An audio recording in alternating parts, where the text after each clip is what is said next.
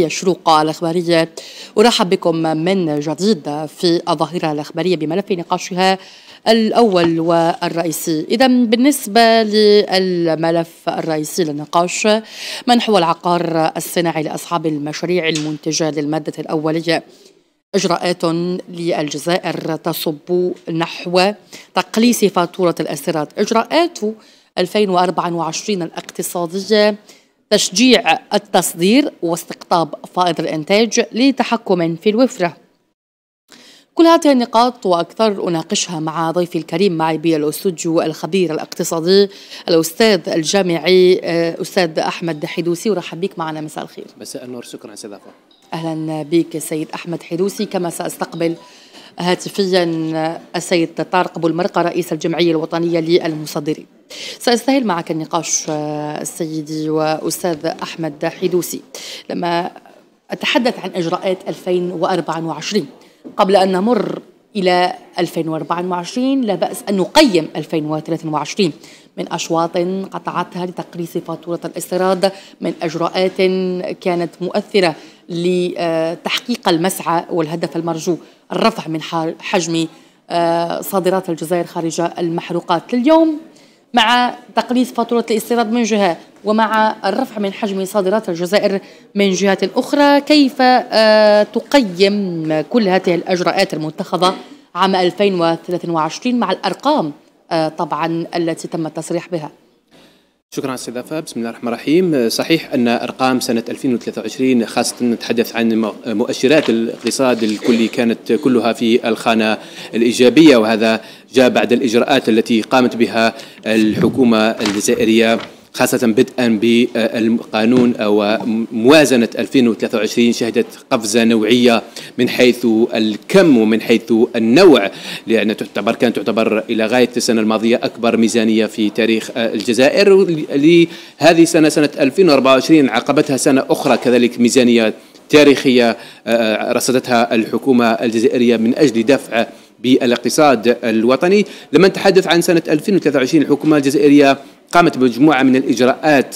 أهمها نبدأ بنهاية سنة 2022 من خلال استصدار قانون الاستثمار والذي كان منتظر وعول عليه الكثير المستثمرين الجزائريين. وكذلك حتى الحكومة الجزائرية تعول عليه كثيرا من أجل رفع قدرات الجزائر الإنتاجية لأن لا يمكن الحديث عن تطوير أي اقتصاد دون الحديث عن تطوير الإنتاج وتوفير احتياجات المواطن بمختلف أنواعه. لذلك جاء هذا اولا في المرحلة الأولى في نهاية 22 قانون الاستثمار. كذلك الحكومة قامت بإجراء آخر هو تعديل قانون النقدي والمصرفي من أجل إعطاء ديناميكية أكبر لقطاع البنوك لأن تعتبر البنوك العصب الرئيسي والمحرك الرئيسي لأي تطوير نشاط اقتصادي. لذلك طبعا فتح رأس مال البنوك العمومية في الخارج كانت خطوة مهمة في 2023 نعم. مشاهدي الشروق نيوز أعود مرة أخرى. و آه، أستقبل وارحب بضيفي الكريم الأستاذ الجامعي والخبير الاقتصادي أحمد حدوسي. أرحب بك معنا مرة أخرى. شكرا. طيب كما سبق وأشرت إن كان ضيفي هاتفيا جاهزا دعوني أرحب به. طيب سنتواصل مع ضيفي هاتفيا. دعني فقط كما سبق وأشرنا أن نعود جاهز؟ طيب. أرحب بضيفي الكريم آه، السيد طارق أبو المرقة رئيس الجمعية الوطنية للمصادرين. أرحب بك معنا مساء الخير. مرحبا.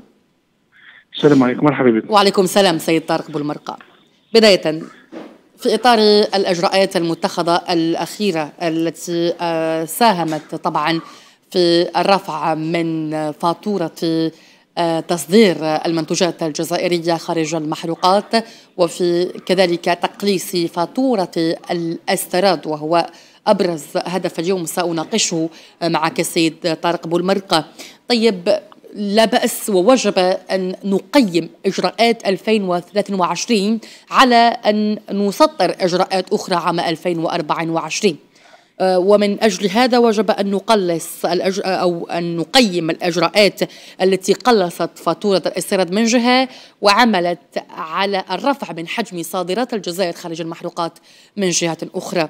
كيف ترى سيد طارق أبو المرقة كرئيس الجمعية الوطنية للمصدرين الأشواط التي قطعتها الجزائر في تقليص فاتورة الإستيراد؟ السلام عليكم. مرحبا. آه، هنا هذا التقليص التصدير. نهضروا على التصدير. فاتورة الاستيراد سيد طارق بولمرقة التي تم تقليصها في إطار الإجراءات. تقليص الاستيراد. نعم. آه، باش c'est de changement de faire faire faire l'export مادام المنتوج الجزائري موجود هنا في المارشي national. راهو كاينين استثمارات كبيرة لعدة استثمارات اللي تنداروا في في البلاد فيما بينهم في المواد الغذائية حديد والصلب السيراميك les produits pharmaceutiques هذا مع ال code d'investissement قانون الاستثمار الجديد اللي وين عطاهم تحفيزات تحفيزات كبار. باش قدروا يديروا المنتوج concurrencer la production على ال internationale اسم هذه واش واش ce qui lui permet à être présent et diminuer les importations لأن مادام منتوج كما قال السيد رئيس الجمهوريه المنتوج كاين متوفر علاش نجيبوا حاجة اللي ماهيش كاينة وزيد l'investisseur algérien il est, il est à la page parce que les foires, les salons, euh, quand il visite, c'est du copier, donc on copie de la bonne, de, de la bonne manière. على هذه لو نيفو دو دو لاندستري الجيريان راهو طلع طلع بقيمه قيمه مهمه وحاليا عم بالك باللي هاد لي شوروم اللي تحلوا في في في السنغال وفي في موريتانيا دي شوروم كي فون اتر بيرمانون وين المنتوج الجزائري يعود موجود على لونغور داني وين لا سافيكس تصدير هذه لا فيديال التصدير كي اكومبان هاد لي زوبيراتور المتعاملين الاقتصاديين هذه اللي زيد تهز في قيمه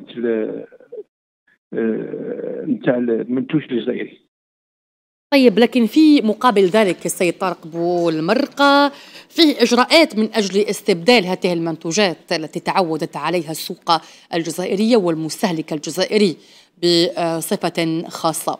من أجل استبدال هذه المنتوجات وتشجيع المتعاملين الاقتصاديين في إجراءات سطرتها الدولة كانت أبرز الإجراءات من إعفاءات ضريبية جبائية من امتيازات تمنح للمتعاملين الاقتصاديين من تحفيزات وغيرها. ما رأيك في الإجراءات التحفيزية التي سطرتها الدولة من أجل العمل على آه، أن المستهلك يعول على المنتوج الجزائري الذي آه، طبعا فيه كل المعايير الدولية ويراعي هذه المعايير؟ الان مع هذه لوا فينونس هذه 2024 23 24 24 راهي دارت كيما باغ اكزومبل لا تاب كيما المصدرين دي بي اس يباي با دي بي اس دوك لا تاب اللي كان يسلكوا هذيك 1% راحت كاين بزاف كاين بزاف دي زافونتاج اللي يمدوهم اللي يمدوهم اللي يمدوهم لي زوبيراتور باسكو هذا هو الاوبيراتور بدا ودر شوية الثقه دوكا ولات الثقه والدولة الجزائرية أرضت الثقة مع مع entre l'opérateur et l'État parce que لو كان ما تكونش une confiance mutuelle ما فيهاش العمل هذا. لأن الناس بكل كانت خايفة. est-ce que فيها استثمار؟ ما فيهاش استثمار. لانك مع les banques les crédits سواء ال public ولا ال privé الآن ولاو les crédits يتمدوا في هذا العام العام الآخر هذا. مي قبل كانت لي كريدي كلش تو تيتي جولي لازم تروح غير البريفي بور كو اون بويس اوبتونير ان كريدي زيد ثاني لوفرتور ثاني مع هاد لي بلاتفورم تاع لابي بور لانفستيسمون راح مع لانسكريبسيون اللي حاب باغ اكزومبل لي لو تيران دونك سيت اون انسكريبسيون اون ديريكت سي كيفي كل واحد سي بار اوردر دو بريوريتي اللي يحب يتعود عنده اون بريوريتي ولا بيان سور سي ان شوا افير قبل اللي ما كانتش كاين حتى الدورسي نتاعكم بعد تشوفوا وقتاش وقتاش توصل الدور تاعك وقتاش يوصل للبلاصه طيب أبقى معي فقط سيد طارق بالمنقل يعود مع ضيفي الكريم بيرو استوديو سيد أحمد حيدوسي. تحدثت عن نقطة مهمة جدا قبل آه، طبعا أن أستسمحك. تحدثت عن فتح رأس مال البنوك العمومية في الخارج. وهذا ما حدث آه، طبعا في 2023 2022 كانت البداية على آه، بنك عمومي بموريتانيا والسنغال كذلك. برأيك إلى أي مدى ساهم ويساهم هذا في الرفع من حجم التبادل التجاري للجزائر والدول الأفريقية والولوج للسوق الأفريقية أكثر؟ السوق الأفريقية لعدة اعتبارات، أول هذه الاعتبارات لما نقيم العلاقات التجارية والاقتصادية التي تربط الجزائر سواء على مستوى الثنائي أو على مستوى الجماعي. الجزائر لديها اتفاقية مع أولا مع الاتحاد الأوروبي التي تم توقيعها في سنة 2002 ودخلت حيز التنفيذ في سنة 2005 صحيح أن المنتجات الجزائرية يمكنها الولوج إلى السوق الأوروبية لكن السوق الأوروبية وكذلك الاستفادة من المزايا التي تمنحها هذه المنطقة منطقة السوق الأوروبية. لكن السوق الأوروبية كما هو معلوم سوق مشبعة ومنافسة شرسة وبالتالي دخول المنتجات الجزائرية إلى تلك السوق يعني تكون بصعوبة جدا جدا جدا.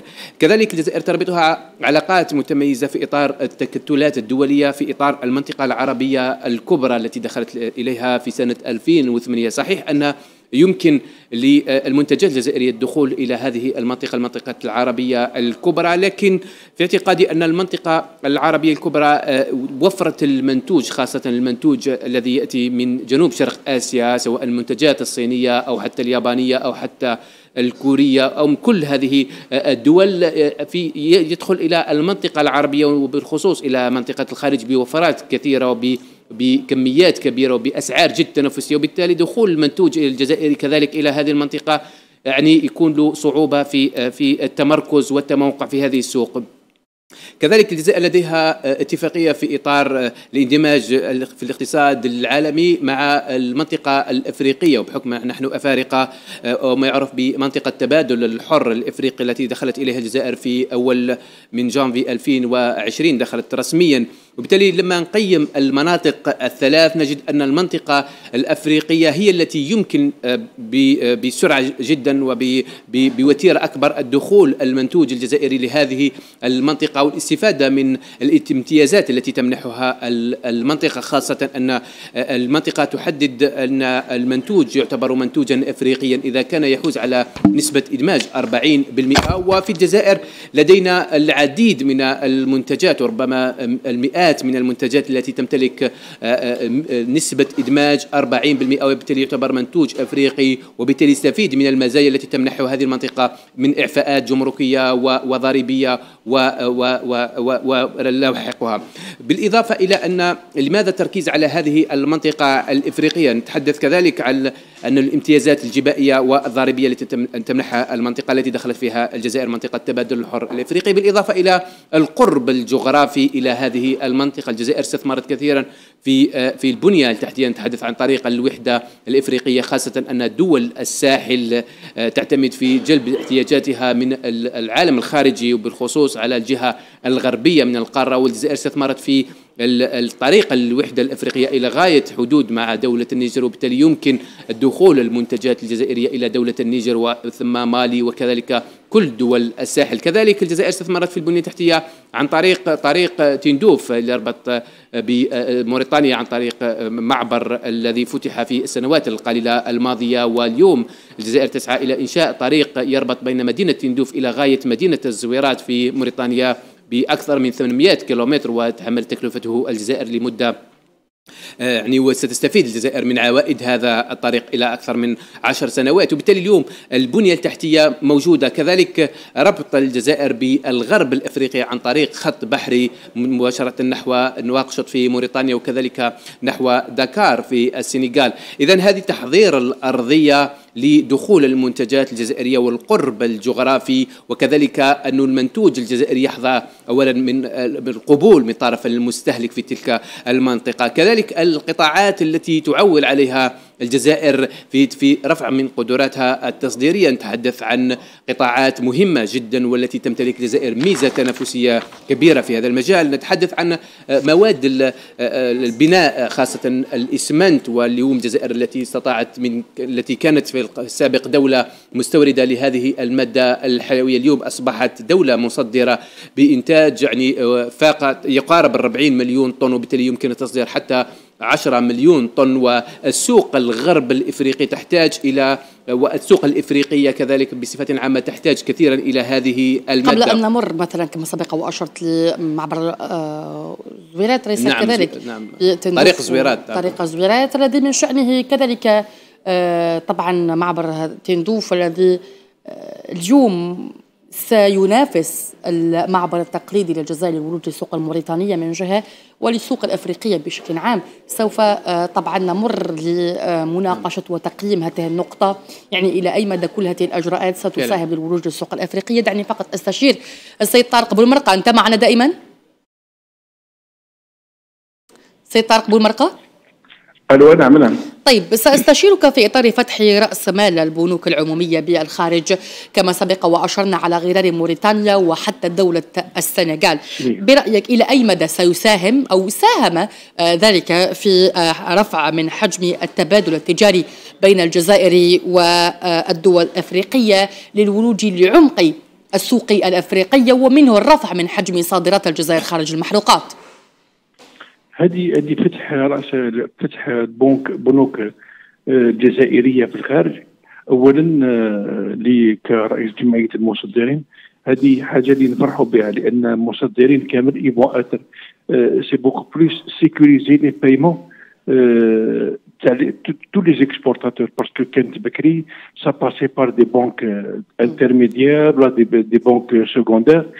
الان جميع من مصدر بار سوا لو بيي دو تصدير كما كنت نحكي لك قبيل ولا بار ليكسبورتاسيون ديريكت هو يي بو افوار اون سيكوريتي نتاع لو بايمون دو دو سي فاكتور باسكو الانسان لو كان المصدر ما يكونش الفاتوره تاعو مسدده راهو يكون متابع قضائيا وحنا ديما نطلبوا بهذا النحي وهذا العائق باسكو لا بورسويت جوديسيال تاع الترونسفير هذا يعيطوا ترونسفير دو دو بيت ايليسيت لأن المصدر لو كان ما يكونش اسيوري كاجيكس راهو سي ان ريسك سي ان ريسك ابروندر بور لوي سكفي هاد البنوك اللي تفتحت راهي حاجة مليحه واش اللي نطلبوا نطلبوا يكونوا يخليهم يحلوا parce que يسيفي juste un passage حاجة تجوز تاع ست شهور ويكون يخليهم يحلوا des des des, des bureaux de liaison مكاتب مكاتب تنسيق ما بين المنتوج هنا المنتج الجزائري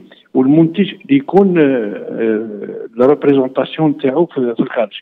هنا هذه اللي مليحه باش هكذا منها نزيدو نقويو في التصدير ونزيدو en sécuriser des paiements ويكونوا هادو les banques يعاونوا ويمشيو non seulement باش pour sécuriser les paiements mais aussi pour l'investissement parce que واحد كيقعد يحب يزيد يدير unité de production وحدة إنتاج في الخارج. راهي مع تعود بنك جزائرية راهي ليه تسمى تسمى كلي كلي كلي معاونة. c'est un pour lui هذه واش اللي نطلبوا حنا كمصدرين. طيب ابقى معي فقط في إطار مطالبكم المرفوعة وفي إطار ما وجب آه، أن تعمل عليه السلطات من إجراءات عام 2024 لضمان المنتوج الجزائري من آه، جانب الجودة للتصدير. هناك آه، سؤال ختامي سأختم معك. يبقى معي فقط سيد طارق بولمرقة سأعود. ابقى معي فقط سيد طارق بولمرقة من فضلك. نتكلموا عن الجودة لأن المنتوج الجزائري راهو ذو جودة عالية parce que جميع من investisseur اللي يحب ينفيستي pour faire un produit درك درك تشوفي في les étalages واش كاين. c'est des produits qui sont nobles درك عاد يفتشوا على certification المعاونات من تاع الدولة. حنا واش نطلبوا ثاني c'est que l'État prenne en charge هذه les certifications طبعا لا في شروط المطابقة التي تطبق عليه. في شروط المطابقة للمعايير الدولية. كاين كاين بيسر كاين. هذه بكل درك عاد هذه في عالميه c'est international oui c'est تاع tout producteur doit se référer aux normes de de fabrication طيب ابقى معي فقط سيد طارق نعم. بولمرقة أعود لسيد أحمد حدوسي لأناقش معه هذه النقطة اليوم. في إطار ما يقابله من إجراءات لأولا كما سبق وأشرنا من إجراءات لنية آه، فعلية سياسية وإرادة سياسية من أعلى هرم في السلطة رئيس الجمهورية عبد المجيد تبون الذي هو دائما من يعمل شخصيا على هذه النقاط للدفع بعجلة الاقتصاد الوطني يعني تقليص حجم آه، فاتورة الاستيراد والرفع من حجم صادرات الجزائر هي إجراءات مسطرة وواضحة ومعمول بها والنتائج يعني ميدانية. اليوم بقى يعني لدى المتعامل الاقتصادي كذلك في إطار مطابقة منتوج الجزائر للمعايير الدولية كما سبق وأشرنا في شروط المطابقة. آه، اليوم ما الذي وجب أن نقدمه للمتعامل الاقتصادي فوق كل هذه الأجراءات لضمان أولا مستهلك آه، للمستهلك الجزائري وللولوج للأسواق الدولية؟ كما قلنا في البداية أنه التصدير هو مهنة سلامتي والجزائر اليوم آه، تحاول التحقيق أو الدخول في هذا هذا المسار الجديد الذي عرفناه في فقط في الثلاث سنوات الأخيرة. هذا لن يتم إلا وفق استراتيجية محكمة تحدثنا في البداية عن تهيئة البنية التحتية تحدثنا عن فتح خطوط بحرية نتحدث كذلك عن فتح فروع أو فتح حتى ليس فروع وإنما بنوك جزائرية في الخارج. هذا في من أجل آه، دعم المنتوج الجزائري في السوق الأجنبية لأن كان المصدر في السابق صحيح كان هناك طلب للمنتجات الجزائرية في الخارج لكن المصدر الجزائري أو المتعامل الاقتصادي الجزائري كان يتخوف من التصدير. كما أشار الأستاذ أنه آه، اللي كان يلاقي صعوبات في في في تحصيل امواله اليوم من خلال فتح البنوك الجزائرية في الخارج. من خلال المعارض الدائمة ومن نعم. خلال نعم. المرافقة كما أشرت المرافقة السياسية لأن كما تحدثنا عن تصدير تصدير مهنة ويتم وفق استراتيجية محكمة مبنية على على على قواعد متينة وهذا ما تسعى إليه طيب. الحكومة الجزائرية مشكور جزيل الشكر لك سيد أحمد حدوسي الأستاذ الجامعي والخبير الاقتصادي. شكرا جزيل الشكر شكرا. لحضورك معي. الشكر موصول إليك مجددا. سيد طارق بولمرقة رئيس الجمعية الوطنية للمصدرين. شكرا لك جزيل الشكر على تدخلك هاتفيا